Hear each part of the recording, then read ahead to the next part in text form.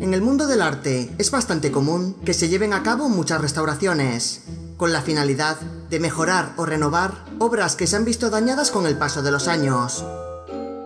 La restauración siempre se lleva a cabo por profesionales, ya que, en caso de dejarse en manos de personas no cualificadas, el resultado puede alejarse de cómo era la obra en un principio, o incluso volverla irreconocible.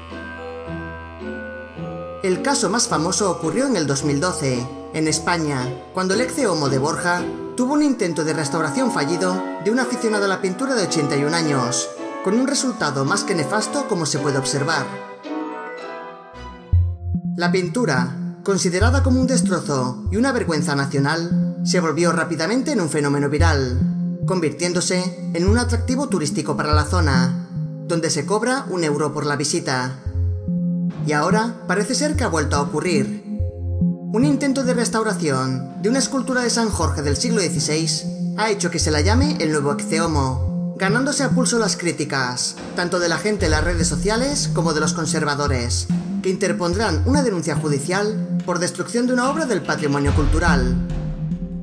La obra era una escultura policromada de primera mitad del siglo XVI, ubicada en la iglesia de San Miguel de Estella, en Navarra, España. La escultura, que representa a San Jorge montando a caballo, luchando contra un dragón, tenía grandes signos de daños y deterioro. Por ello, el párroco de la iglesia encargó la restauración a una profesora de manualidades, el resultado es más que evidente. Un San Jorge sin expresividad alguna, con colores que no concuerdan con el original. Por ejemplo, los arreos del caballo, pintados ahora de rojo chillón cuando tenían orla de plata y pan de oro. Los expertos afirman que aunque estos colores estaban sucios y perdidos, se hubiesen podido recuperar con una buena restauración.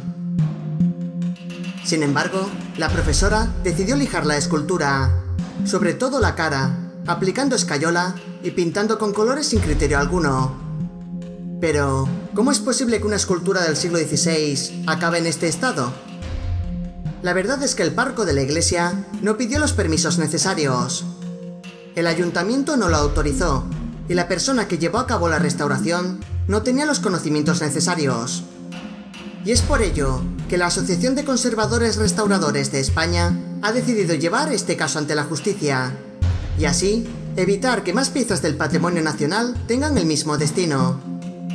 No quieren que San Jorge se convierta en un chiste, tal y como ocurrió con el ex Homo de Borja.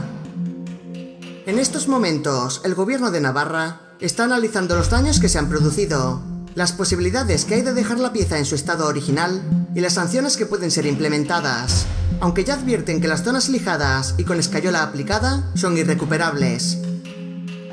Sin duda, desde el punto de vista histórico, patrimonial y artístico, es una pena lo ocurrido. Y todo por motivos tan absurdos como ahorrarse dinero, o porque no le gustase al párroco como era la escultura. Y aquí termina el vídeo de hoy. Si te ha gustado, dale un like, compártelo en las redes sociales y suscríbete si quieres conocer más temas parecidos. Nos vemos hasta la próxima.